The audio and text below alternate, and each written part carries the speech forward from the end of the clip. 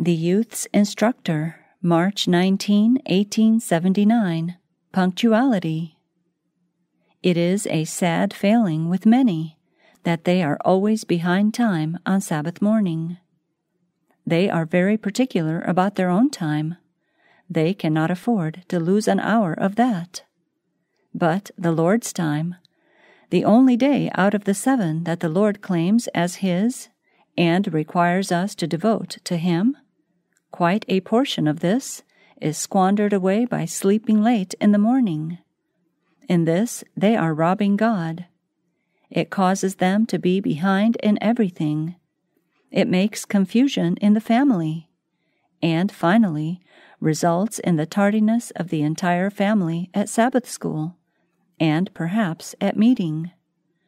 Now, why can we not rise early with the birds and offer praise and thanksgiving to God?